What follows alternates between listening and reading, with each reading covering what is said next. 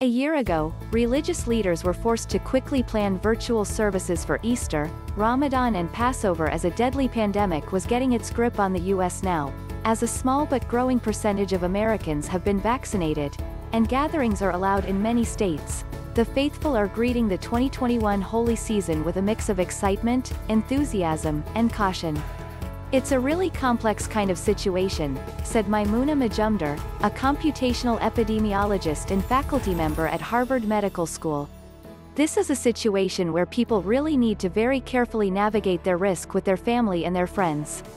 Last week, Johns Hopkins University reported 22.5% more U.S. cases than the week before, with 33 states reporting rising case counts. Meanwhile, on Monday, Dr. Rochelle Walensky, director of the Centers for Disease Control and Prevention, said hospitalizations and deaths are once again on the rise, after previously warning of a spring surge if Americans do not take precautions. Churches, synagogues and mosques across the country are taking a variety of approaches to recognizing the holidays amid the pandemic. Few have lifted capacity limits completely, while others are offering options for virtual or socially distanced celebrations.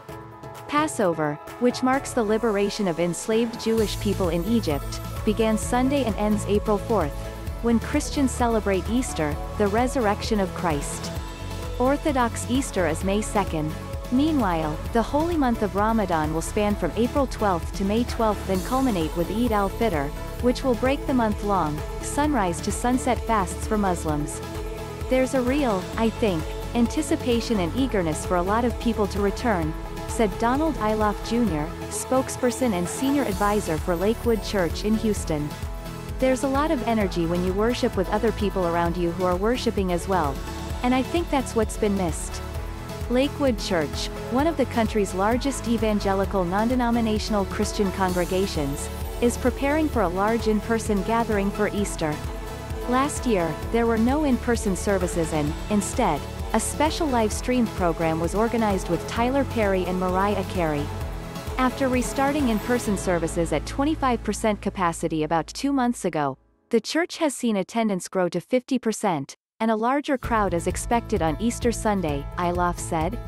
Lakewood has a capacity of 16,000 for each service and it hosts three services every Sunday. Texas is among the states to recently reopen, allowing business and places of worship to operate at full capacity.